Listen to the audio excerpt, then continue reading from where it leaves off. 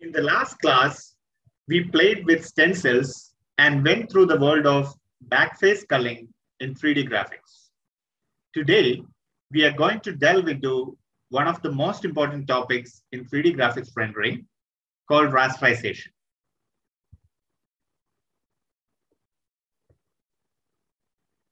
As we have seen in our first tutorial, 3D objects are made from 3D polygons. And 3D polygons are made from triangles, which are the basic building blocks of 3D objects. As you can see here, the tabletop is a rectangle, which is a polygon, and it consists of two triangles.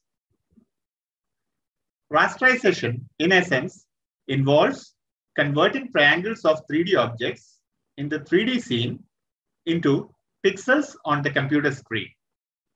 The basic requirements for rasterizing two adjacent triangles, that's triangles that share a common edge, involves number one, it should not leave any holes, that's non-rasterized pixels between the two adjacent triangles, so that the rasterized area is completely filled.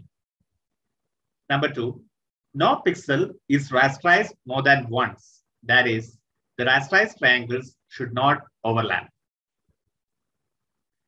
In order to achieve these requirements, certain rasterization rules are established. One set of such rules is top left rule. It states that a pixel is rasterized if and only if its center lies completely inside the triangle or its center lies exactly on the triangle edge. That's either top or left edge. In case of corners, the pixel center lies exactly on the multiple edges. That's top or left edges. A top edge is a, edge that's exactly horizontal and lies above other edges. And a left edge is a non-horizontal edge that's on the left side of the triangle. As you can see in the figure, the red edge in the triangle on the left is a left edge, and the red edge in the triangle on the right is a top edge. Now, let's go through a rasterization algorithm.